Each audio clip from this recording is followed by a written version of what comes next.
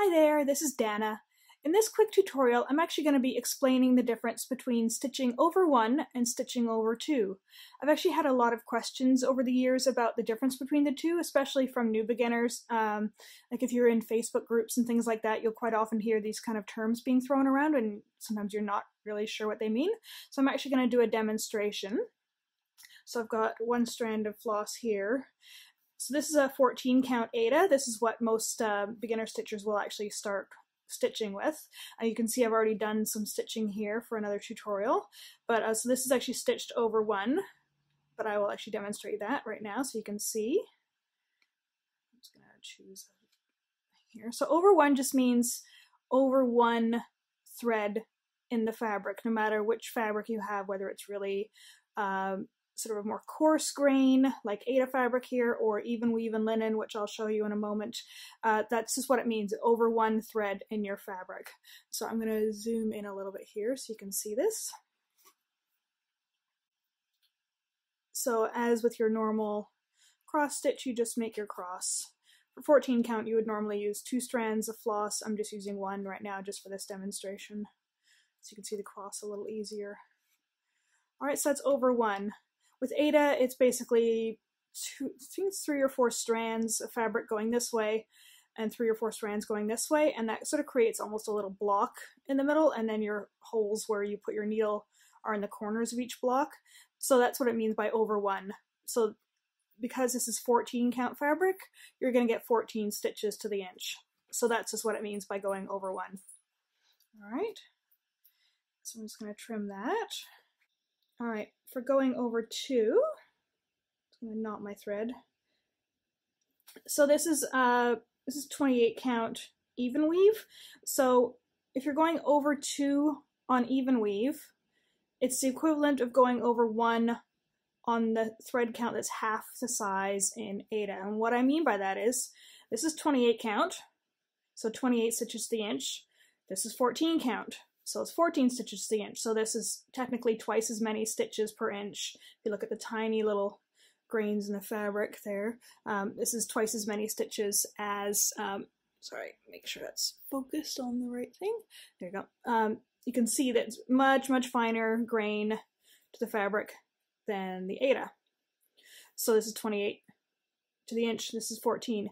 But if you're stitching over two on this, it basically means that you're dividing your stitch count in half because you're only going over every second hole. And I'm going to demonstrate this as best as I can. It's a little tricky demonstrating on Aida, or sorry, on linen and even weave just because it is, um, it's much finer. So obviously the camera has a hard time picking up detail. So, so I've just chosen any random hole. So you're going to go up one, up two, and then over one, over two. So that's what it means by over two, because you're going over two holes. And then same, you go two down for your next part of the X, over two, up two. So that's that's that's what it means by over two on linen and even weave. And I'll just do another one here so you can see. Um, the reason you would want to do over two is uh, there's a lot more variety in fabrics for linens and even weaves. Even weave is just um, it's usually cotton or some kind of natural fiber like that that's been machine manufactured in, in the sense that the, the grains are really, really even. That's why it's called even weave. Linen is actually made out of linen um, fiber and it's got like slubs in it, which are like these little lumpy bits that sort of appear and the thread can kind of waver between being quite thick and quite thin. So that gives it a really unique texture, but it also does make it uneven that's the difference between the linen and the even weave. So there's a lot more variety in fabrics and also you can get a lot more detail with linen and even weave if you're using patterns that use fractional stitches. I've got another video that I will link in the video description below about fractional stitches. Basically it's just instead of doing a full block you're using like a quarter stitch or three quarter stitch, things like that. So there you go. So that's what it means by going over two. So you can see with the size of the stitches, just compare these side by side, they're basically exactly the same size because this is the 14 count over 1, this is 28 count over 2. So there you go. One thing to note too with stitching over 1 versus over 2, I've seen some people, um, particularly those really, really big um, full coverage patterns that are like poster size, like artworks that have been converted into patterns. Um, some people, they don't want to stitch on linen and even weave because the holes are smaller and so sometimes if you've got vision issues or you just don't want to um, to have to work so hard counting because it is a little bit more um, I don't want to say tricky but it, it takes a little bit of practice to get used to stitching over two on linen and even weave than it does on the Aida where the holes are a lot more obvious and easy to see. So some people when they want to tackle one of these really big patterns they think oh I'll just do it on Aida fabric or I'll do it over two to make it, you know, easier on me instead of these tiny, tiny little stitches as if you were stitching over one. And for example, like over one on this, there is a, actually a trick to stitching over one across a big area uh, on linen and even weave just because of the way the fabric's manufactured. So I'll be doing an upcoming video on how to stitch over one on linen and even weave. But you can see you're just making these tiny little stitches. So sometimes people don't want to do these tiny little stitches. You can get um, magnifiers and things like that as well, which help if, you, if vision is an issue. So you can see that's like half the size of, of these ones. But the problem is if you're doing these big poster size patterns, quite often the, the stitch number is so high, if you don't stitch over one, you're actually not going to be able to find fabric anywhere that's going to be able to accommodate the size of your pattern. So one really good um, equation that people should know if they're stitching is um, if you're not sure of how big your finished project is going to be. So you'll take the number of stitches, so say a pattern has 140 stitches across. You'll take that number, 140, and you'll divide it by the thread count of the fabric you want to use. So let's say you want to stitch it on 14 count Aida. So it's 14. So you'll divide 140 stitches wide by 14, and that equals 10. So your stitched width will be 10 inches wide, plus obviously 3 inches on either side for your margin for finishing and framing and whatnot. So that's 10 inches wide. Whereas if you stitch the same number of stitches, your 140 stitches, over 1 on 28 count, that's only going to be 5 inches wide. That's half the width. So sometimes if, say, a pattern has, say, 300 stitches across, that's huge.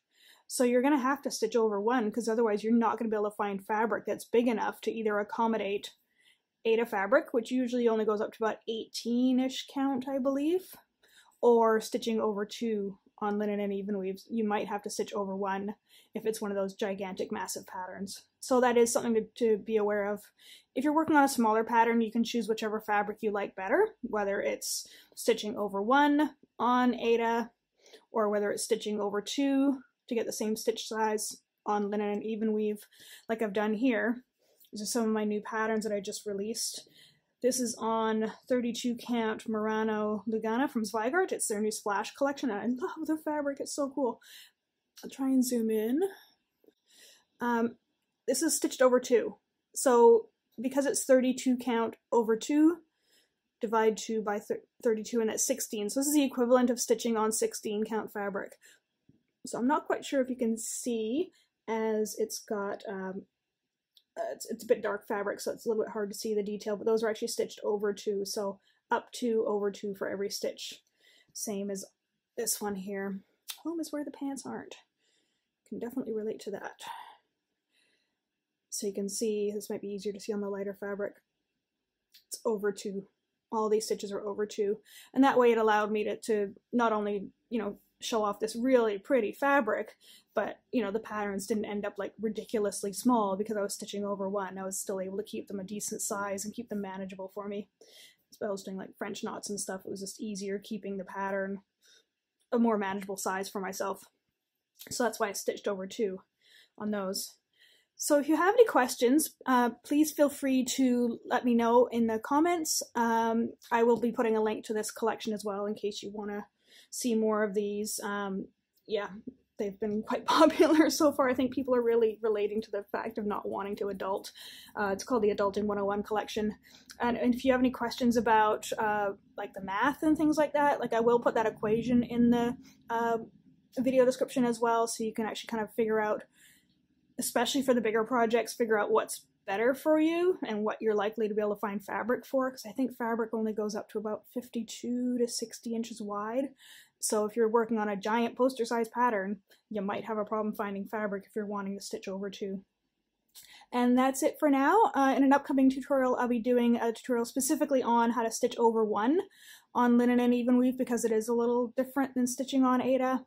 And I'll also be doing a tutorial coming up uh, soon about how to do squashed stitches, which are kind of like, they're a type of fractional stitch, but that will be coming up later.